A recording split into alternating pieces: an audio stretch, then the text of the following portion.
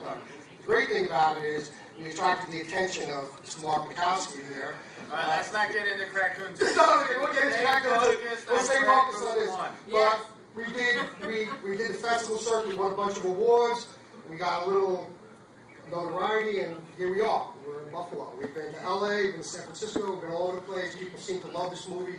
It was something that we just put together as a goof. Wound up really, you know, did you like the movie? Was it, awesome. So I guess we accomplished what we wanted. We wanted to make a fun movie. People would laugh. And like I said, in the Bronx now, when people go to the Bronx Zoo, they say, where are the Krackoons? So, so I'm pretty lucky about that. You know, in our neighborhood, where we're known as the crack crew. So, you know. Couldn't you get real Italians in this film? Surely you must have known one. Most of the Italian men, uh, we won't tell what a bunch of things. And, but we- most of the Italian crew, um, we have a couple of Irishmen with us. And, the Bronx is very mixed, so. A couple of Latinos, a couple of brothers. Tell us about the um, the puppet.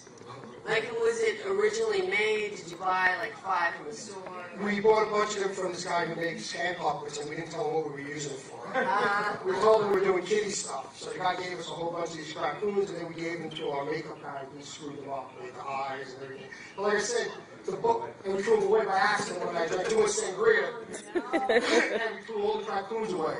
So we had one more scene to do. So we had to go get one more raccoon. This woman must have thought we were crazy. We said, we need one more. And then we had to fix them up for the last scene because we got rid of all our raccoons with the garbage. So I some garbage up in the Bronx somewhere. So, That's a movie right there. yeah. Now,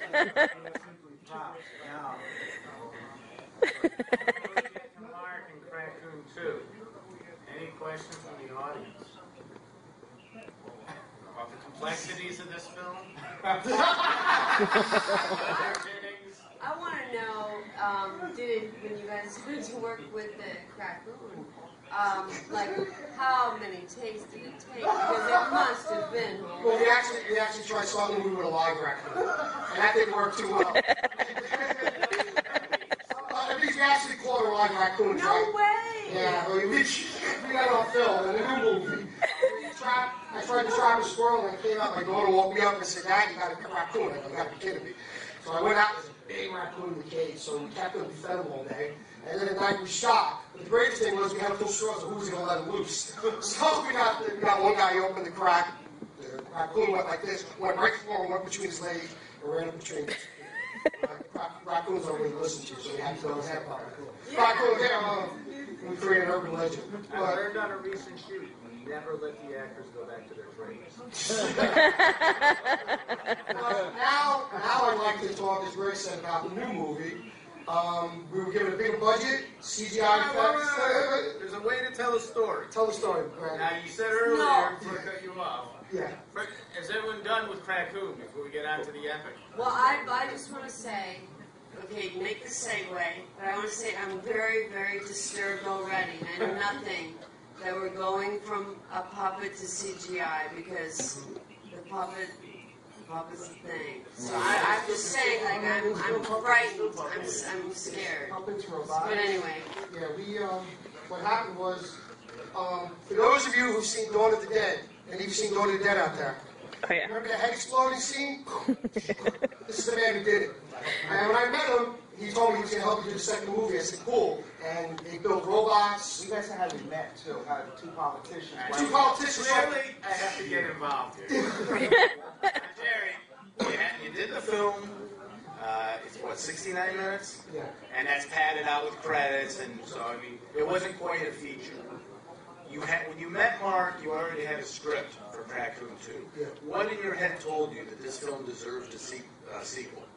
Was it a desire just to do more with the concept? Was it to do a full feature? What made you initially write a sequel to it? We were actually doing a short, and then when Krackoon kind of hit, Newsweek did a story, Newsweek, right? Was it Newsweek or Newsday? Of Newsweek, I think it was.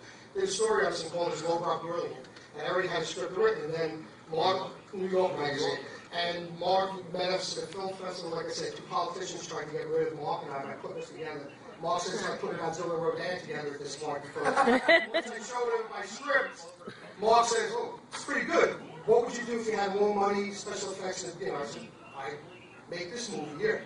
We have four creatures in the new movie, um, CGI, it's robotics, like animatronics, it's stuff like never did, and the post is months now because they're doing CGI. Now, in the trailer we have here, we have, people are tired, Greg. Hey, Mark, Mark, let's go to you now. Tell us, tell us why you wanted to get involved with the new grad group. Well, the reason I got involved with them was I've, I've been a big advocate, as Greg knows. We did a movie called The Dying Love in about 1999. It was the first time the Bronx had a premiere in 20 years. So I'm very high on getting real production values in the Bronx. With an industry in New York City that has $7 billion, the Bronx gets about 11 million of that. And the Bronx is dead. It's the only bird that doesn't care. And a lot of the uh, filmmakers I've met in the Bronx are always good at starting something. They never finish it. Jerry was the first one that actually had something. It wasn't that it was good, bad, or indifferent. They actually got something done. So when he showed me the screenplay, and he, I said, if you ever decide to do this, I'll put my people on it, and we'll do a real movie. With this, is, you know, get a budget. We'll put, you know, the hand puppet is good, but we'll make teeth, we'll make robotics, we'll CGI it.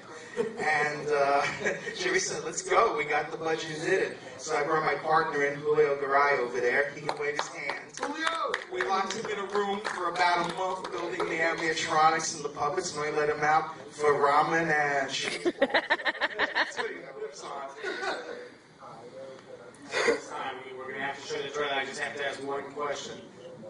Sal Amore, Sally Love. Sally Love. Supporting character, in the first character, he's the star of Storm, yeah. Why did Sal get the big promotion? Cuz he put a gun to my head, right?